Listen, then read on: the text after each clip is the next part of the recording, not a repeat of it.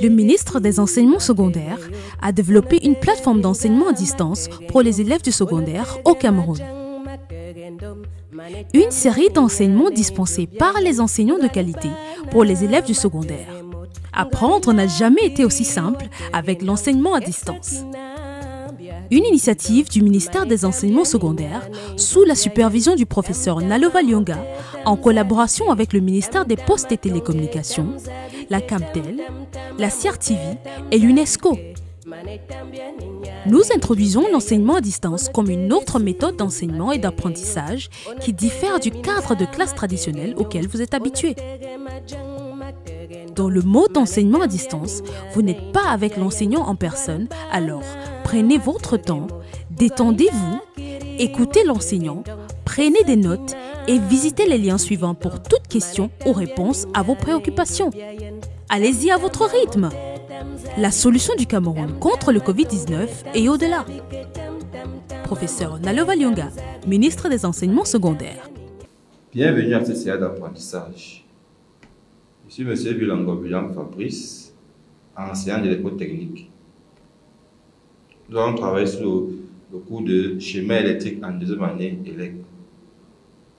Tout d'abord, on va commencer par corriger le devoir de la séance précédente. Le devoir était intitulé que on considère les schémas électriques des figures 1 et 2 ci-dessous. On avait, vous avez le schéma de la figure 1 chemin de la figure 2. On a demandé que vous fassiez, que vous identifiez les schémas électriques représentés aux figures 1 et 2. Ce qu'on a demandé la dernière fois, que à partir de donc, vous identifiez les schémas des figures 1 représentés aux figures 1 et 2. Voyons voir la correction. La figure 1 est le schéma développé. Et la figure 2 est le schéma multifilaire. Voilà la correction. J'espère que tout le monde a trouvé. Maintenant, aujourd'hui, nous allons voir une autre leçon dans une autre partie. On va voir une autre partie de notre, de notre programme. La, la partie module 3, qui est intitulée Schéma de base des circuits d'éclairage et des prises de courant. Cette partie a quatre leçons qui sont le montage des prises de courant, le montage simple allumage, le montage double allumage et enfin le montage va et vient. Donc voilà les quatre leçons de cette partie. Donc dans cette partie, nous allons voir les quatre leçons là et chacune des leçons aura une seule présentation. Donc aujourd'hui, nous commençons par la leçon 8 qui porte sur le montage des prises de courant.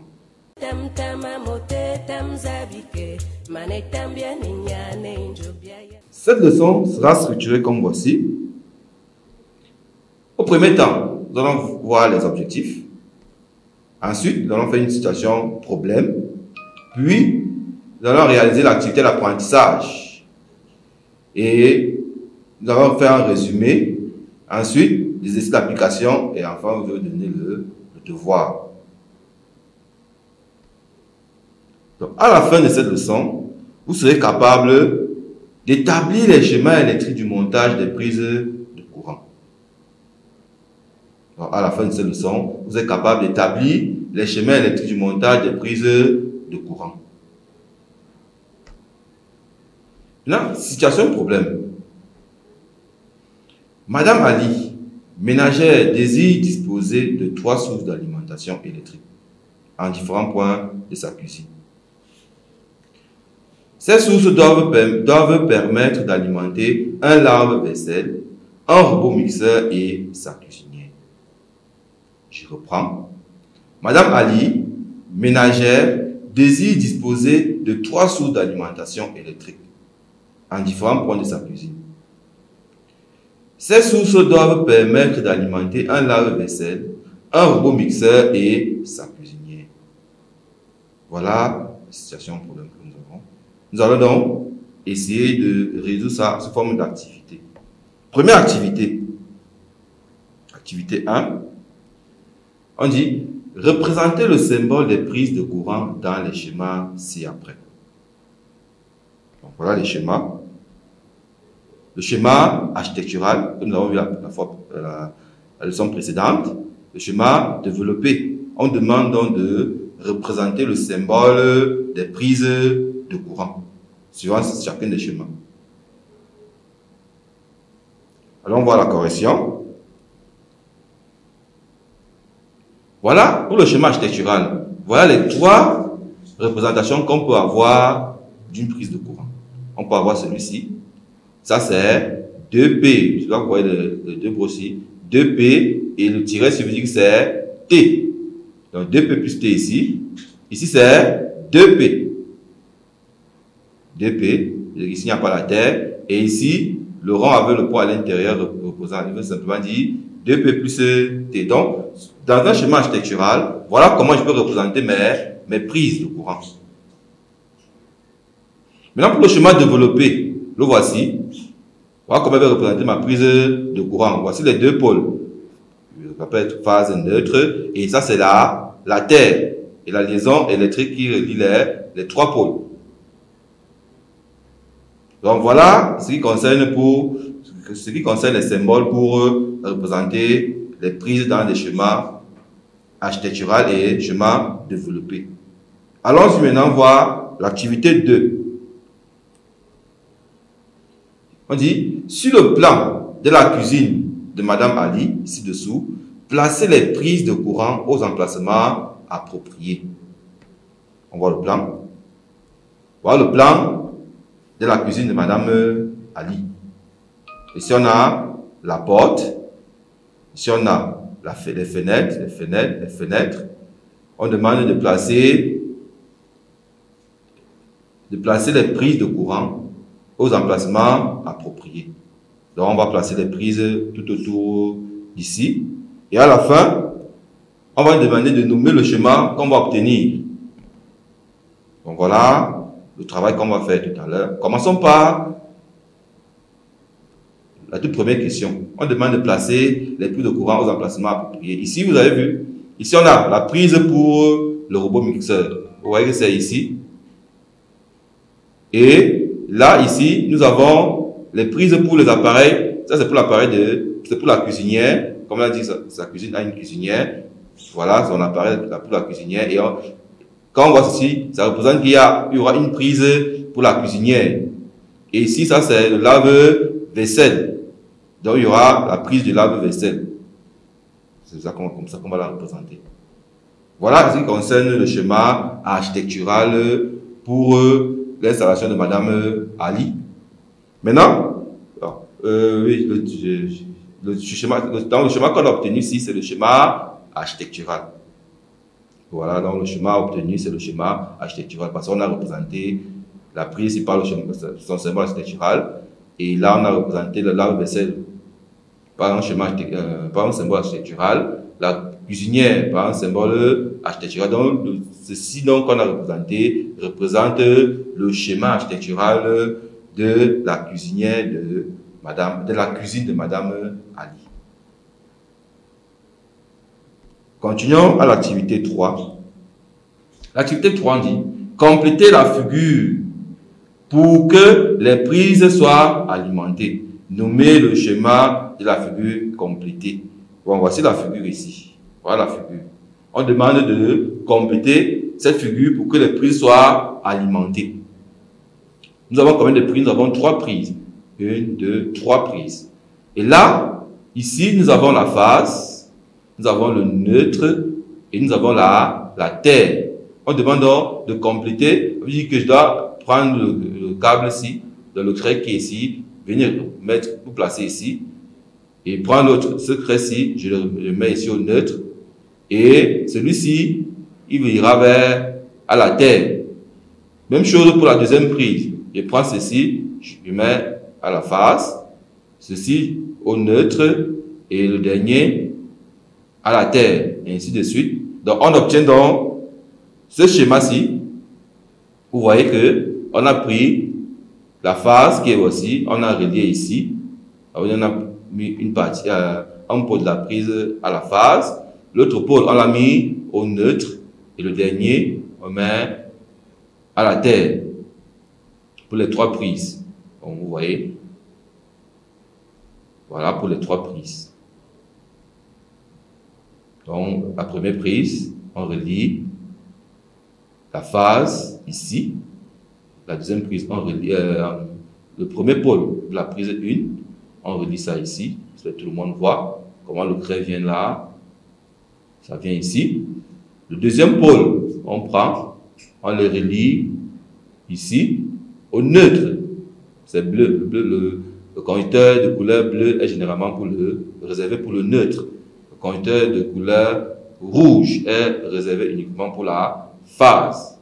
Et le vert jaune que voici, c'est pour la, la terre. Donc on a relié le pôle de terre qui est voici et ce conducteur vert jaune qui est réservé pour la terre. Même chose pour la prise 2. Donc on prend le pôle ci, on le relie là, on prend le pôle du neutre, on le relie au neutre, on prend la terre, on relie à la terre, le pointeur de terre. Ensuite, troisième prise, on prend le pôle ici, qu'on relie à la face. On prend le deuxième, pôle, le deuxième pôle qu'on relie au neutre. On prend le troisième pôle qu'on relie à la terre. Donc, voilà donc ici, comment on a représenté. Vous voyez qu'ici, toutes nos prises sont alimentées. Parce qu'on a, notre d'alimentation est composé d'une face, du neutre et compteur de terre. Et là, vous voyez que toutes les prises là, toutes les trois prises là sont reliées directement à nos alimentations. Voici l'alimentation ici. La phase, ça c'est quoi? Ça c'est le fusible. D'accord, on représente le, le fusible. En technologie, on vous a dit à quoi c'est le fusible. Le fusible permet de protéger contre des éventuels dangers qui peuvent arriver dans l'installation électrique. C'est danger par le court-circuit par exemple. Donc voilà la phase, neutre, protection. Maintenant, on va voir quel est le type de schéma qu'on a obtenu. Le schéma qu'on obtient ici, c'est le schéma développé. Donc le schéma qu'on vient d'obtenir, que voici, ce schéma on peut appeler ça le schéma développé des prises. Ici, on a trois prises. Donc on a, qu'on a représenté comme ici. Mais si on avait une seule prise, on laisse se limiter ici. Simplement. Si on avait deux prises, on se limitait là. Trois prises comme celle-là. Si on avait encore plusieurs prises, on allait continuer simplement. On allait continuer, même si on a 1000 prises, on va représenter exactement. On a juste on, on va seulement ajouter plus bas pour câbler nos 1000 prises. voilà le schéma développé, comme on vient de le dire. Maintenant, activité 4. On dit relier les prises de courant à la source d'alimentation à l'aide d'une canalisation électrique et préciser la nature et le nombre de conducteurs. Puis, nommer le schéma électrique obtenu. Dans cette activité a deux volets. La première, le premier volet, on demande de, de relier les prises de courant à la source d'alimentation à l'aide d'une canalisation électrique et préciser la nature et le nombre de conducteurs. Après, on va donner le nom du schéma électrique qu'on va obtenir à la fin. Donc, vous voyez ici, donc voici le schéma. Voici la figure que nous avons. Ici, tout le monde peut identifier que ça, c'est l'alimentation. Parce que ça, c'est le fusible. Et là, ici, on a le conducteur de phase, neutre et terre. On a nos trois prises qui sont là. Donc, on va donc les relier. On va relier pour que ces prises, nos trois prises soient alimentées ici. Et là, sur chaque conducteur, on va mettre sur, chaque croix qui va, chaque ligne qui va alimenter chaque les prises, on va mettre le nombre de conducteurs qu'il faut pour alimenter cette prise-là. voilà donc un peu la solution. Vous voyez donc ici, nous avons notre, euh, on a relié les trois, les trois prises.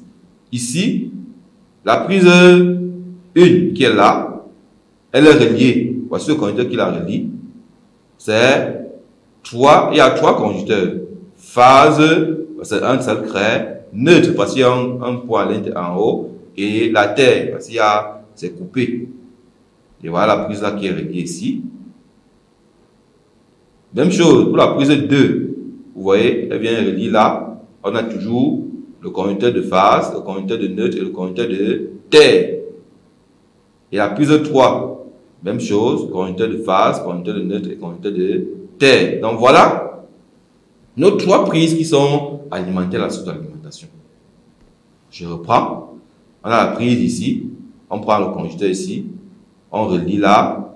Et sur le conducteur, on met le nombre de conducteurs qui doivent être, qui doivent être utilisés pour relier cette prise.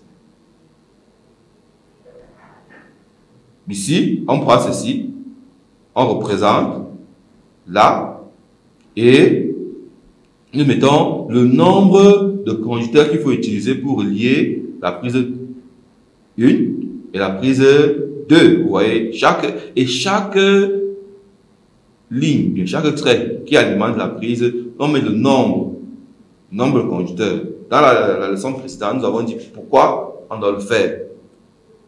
Donc voilà donc ce qu'on a obtenu. On a, comment on a relié. Maintenant, quel est le chemin qu'on obtient à la fin? On va dire que c'est le schéma unifilaire. Tout le monde, tout le monde le sait déjà. C'est le schéma unifilaire. Donc c'est le schéma unifilaire ici. Parce que on relie les prises par un trait et sur chaque trait, on met le nombre de conducteurs. Voilà. Voilà. Le nombre de conducteurs qui est là. Phase neutre terre. Phase neutre terre. Phase neutre terre. Donc, la prise ici, la prise P3 ici, aura comme alimentation une phase, un neutre et la terre. La prise 1 que voici aura une phase, un neutre et la terre. Tout ça est représenté par, par ceci. Et l'ensemble donnant le schéma unifilaire. Donc voilà le schéma unifilaire des prises, des prises. Et ici, nous avons trois prises. Si on avait une seule prise, par exemple, on avait seulement la prise 1, on devait s'arrêter là. Dans le conducteur, s'il veut venir là, ça s'arrête ici. Et si on avait deux, ça dépend de l'emplacement. Chacun peut placer là où il veut. Mais seulement, il doit relier avec euh, le câble, euh, le conducteur, pour que ça, soit, ça doit aussi être bien aéré, que ça, ça doit bien se présenter, comme vous voyez là, là sur l'écran. Vous voyez que c'est bien présenté. Pourquoi? Parce qu'il n'y a pas, le ne se, ne, se chevauche, ne se chevauche pas ou ne se rencontre pas. Et généralement, comme on a dit ça c'est la porte, je ne vais pas mettre une prise devant la porte, quand même. Parce que devant la porte, on peut pas mettre une prise devant la porte. Elle ne sera pas, il n'y a même pas de mur pour placer la prise là. Donc, on, évite la porte. La fenêtre, bon, la fenêtre, on la place comme celle-là. On peut placer la prise. Pensez que quand on va construire, la fenêtre sera un peu plus haut. On peut placer la prise plus bas. Bon, on continue avec l'activité 5. Maintenant, à partir du schéma obtenu à l'activité 4, déduis le schéma unifilaire en complétant la virgule suivante. Donc, à partir du schéma unifilaire qu'on a obtenu à l'activité 4, je peux revenir. Là, à partir du schéma-ci, on nous demande donc de déduire le schéma multifilaire en complétant la figure que voici. En complétant la figure que voici. Donc, c'est simple, tout le monde peut le faire. On, faut seulement encore, on va relier le nœud. Ici maintenant, au lieu de représenter les craies sur la ligne, on va plutôt, chaque ligne, chaque conducteur aura son trait. Donc, chaque conducteur aura son trait. C'est le schéma multifilaire. On a dit que pour le schéma multifilaire, on représente chaque conducteur par un trait. Donc, comme on a l'alimentation a une phase, un neutre et la terre, ça chaque conducteur là, comme vous voyez là, voilà le câble du neutre, voilà la phase, et voilà la terre. Donc, on va donc relier, on relie ça ici, euh, le neutre au neutre, la phase à la phase, à la bout de phase, la terre à la bout de la, de la terre. Donc, on obtient donc ceci. Voilà, vous voyez donc, voilà ce qu'on obtient. Le fil de phase qui est rouge, le voici, pour la prise ici, voilà qui, arrive ici. Le neutre, le voilà, ici. Et la terre, là voilà. Passe pour la prise ici. Alors pour l'autre prise, on a euh, la phase, la voici. Le neutre, la voici. Et la terre, la voilà, qui est reliée au vert jaune. N'oublions pas qu'on a dit que la phase, c'est le conducteur de couleur rouge. Le neutre, c'est le conducteur de couleur bleu. Et la terre, c'est le conducteur de couleur vert jaune. Voilà. C'est ici. Et chaque prise est alimentée par ces différents conducteurs. Voilà la première, la première prise, la deuxième prise, la troisième prise. Vous voyez, chaque on a le rouge qui est la phase, le bleu qui est le neutre et le vert jaune qui est la terre. voilà dans le schéma multifilaire des, prises. Voilà comment on va représenter le schéma multifilaire, des prises. En rappel, on a dit que dans le schéma multifilaire, on utilise les symboles du schéma développé. Et dans le schéma unifilaire, on utilise les symboles du schéma architectural. Donc, vous voyez dans tous ces éléments, on pour le schéma unifilaire, ici, on a utilisé les, schémas, les, symboles, les symboles du schéma architectural. Et multifilaire, comme on vient de voir, on utilise les symboles du schéma développé. Ça, c'était un guide de rappel pour la leçon précédente. Maintenant, on continue avec l'activité 6. Donner d'autres applications du schéma étudié dans cette leçon. Donc, on va voir d'autres applications. Tout le monde peut donner ses applications. À la maison, où on utilise la prise pour, Par exemple, pour éclairer, pour alimenter le téléviseur, pour alimenter l'ordinateur, le faire repasser. Plusieurs récepteurs. Ça peut être, même pour charger le téléphone, on utilise la prise. Donc voilà une autre application de, la leçon. On, se résume pour alimenter le, téléviseur, pour alimenter la radio, l'ordinateur, le, faire repasser, pour charger le téléphone. Voilà, d'autres applications. Elles sont nombreuses. On ne peut pas toutes les citer. Parce que tout le monde à la maison, a, il y a une prise. Et, et cette, cette prise-là sert à alimenter un appareil précis. Maintenant, qu'est-ce qu'on va retenir donc? On va retenir que le montage prise de courant permet d'avoir une ou plusieurs sources d'alimentation électrique en différents endroits de l'habitation. Je reprends.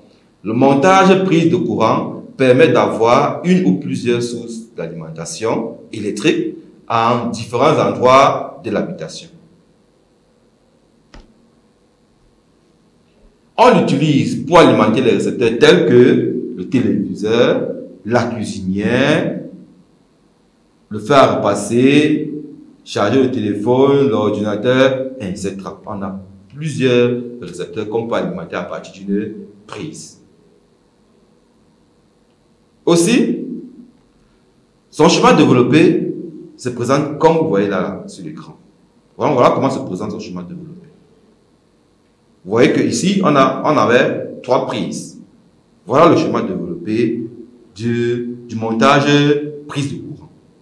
Vous voyez qu'on a relié ici la phase, on met la phase en pôle de la prise à la phase, le pôle au neutre, et celui, euh, le dernier pôle qui est la, la, terre, la bouche de terre, on la relie au conducteur vert jaune qui est la terre. Donc voilà le schéma développé du montage prise de courant. On continue le schéma architectural. Le voilà. Ici, on a utilisé le symbole architectural d'une prise. Ici, ça c'est pour dire que ça c'est le lave-vaisselle. Ça veut ça, on va représenter, il y aura une prise pour le lave-vaisselle. Et comme cette prise-là, c'est un appareil, elle est, elle est spéciale. Cette prise-là sera une prise spéciale. Donc, elle sera réservée uniquement au lave-vaisselle. C'est pour ça qu'on représente plutôt le lave-vaisselle pour dire que c'est une prise spécialisée qui sera réservée uniquement pour alimenter le lave-vaisselle, pas autre chose. Même chose pour ceci, la cuisinière. la prise qui est là sera réservée uniquement pour la cuisinière, nous accords reposant dans le schéma architectural d'une cuisinière. Pour dire que la prise qui sera réservée là est, réservée uniquement pour la cuisinière, pas autre chose. Donc, dans euh, dans l'installation électrique, si je vais utiliser le lave-vaisselle, la cuisinière, dans mon schéma architectural, je vais représenter une prise, comme ceci. Je vais représenter une prise comme ceci. Je vais plutôt représenter l'appareillage en question.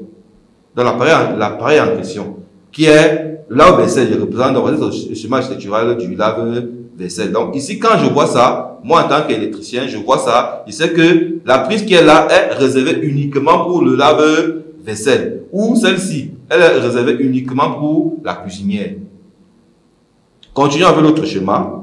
Le schéma euh, unifilaire que vous voyez là sur l'écran. Et là, on a dit qu'on représente chaque ligne par un, un trait. Et là, on met le nombre de conducteurs qui sera composé dans la, dans la ligne. Donc ici, on a phase neutre terre. Et là, on a représenté.